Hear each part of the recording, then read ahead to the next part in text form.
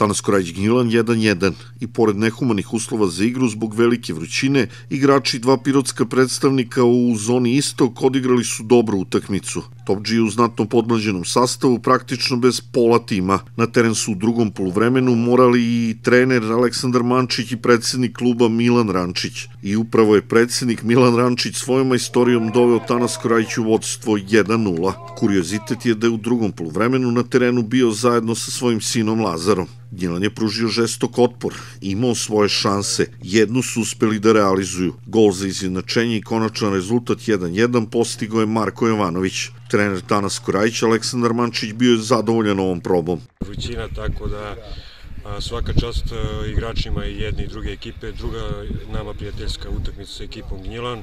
A, novi zonaši, želim im puno sreće u novoj sezoni.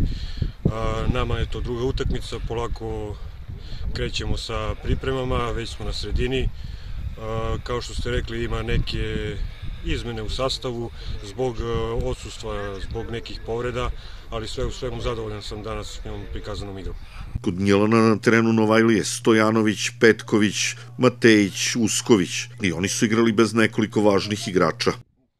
Ovo je naša prva utakmica. E, mislim da smo odigrali dobro i mislim da ako ovako, ako ovako pristup imamo u zoni da možemo da izborimo naš cilj, to je opstanak u ligi. Da li je prelazni rok završen ili tragate za prelazni, još nekim pojačanjem? Prelazni rok za nas nije završen još uvek, e, tragamo za, za štoperima, za bonus igračima. E, dosta igrača imamo koji su povređeni, četiri igrača iz prošle sezone su povređeni, četiri i pet su odsutni zbog odmora, zbog posla, u principu